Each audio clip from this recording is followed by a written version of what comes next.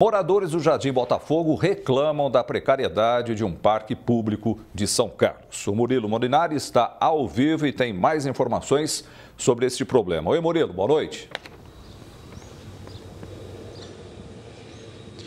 Boa noite, Zanuelo. Boa noite a todos que estão assistindo ao Jornal da Clube. Realmente, os moradores estão reclamando da quantidade de mato que tem aqui nesse parquinho, que serve de diversão para a criançada e também para os familiares virem até aqui ao local, mas a precariedade é tanta e ninguém consegue resolver. Aqui ao meu lado está a Mariana, moradora, e ela vai falar um pouco. Mariana, essa situação aqui não dá para vocês moradores frequentarem o local, né? Boa noite. Não, boa noite. Uh, tá, esse mato faz dois anos que está aqui, a precariedade do parquinho, os brinquedo quebrado, tá muito feio aqui. Fora os escorpiões que temos nos prédios, que vêm pela luz, não tem condições das crianças permanecerem aqui. Agora, final de ano, essa bagunça, não tem onde as crianças brincarem fazerem nada. Está demais. E ontem à noite mesmo, vocês encontraram escorpiões aqui pelo local e até mesmo moradores já encontraram uma jiboia.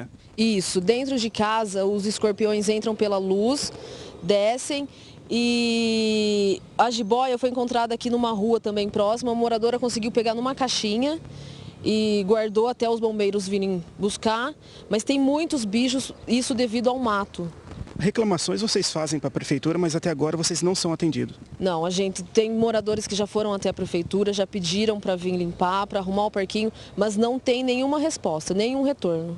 A situação é pior aqui durante a noite? Durante a noite fica pior. A iluminação daqui é fraca, é muito escuro, mato alto, dá para qualquer pessoa se esconder. Já teve vários assaltos aqui também. E esses brinquedos também, eh, eles estão pintados, mas foram os próprios moradores que fizeram essa restauração deles. Foi, foi os próprios moradores que fizeram essa restauração há dois anos atrás. Só que hoje não tem mais como a gente fazer e estava pedindo para a prefeitura vir dar uma limpada, organizar para os moradores. Aqui no bairro também tem outros problemas? Tem, tem problemas de buraco, de água correndo, tem muitos, uh, é droga, isso está demais aqui. Ok, Marina, muito obrigado pela sua participação aqui no Jornal da Clube. Realmente nós procuramos a prefeitura para ter um posicionamento sobre esse mato todo, se manda uma equipe até o local, mas até o final desta edição não tivemos resposta. Eu volto com você no estúdio, Zanuelo. Obrigado, Murilo. Ao vivo de São Carlos, se mostrou hoje junto com a Mariana essa precariedade desse parque aí no Jardim Botafogo.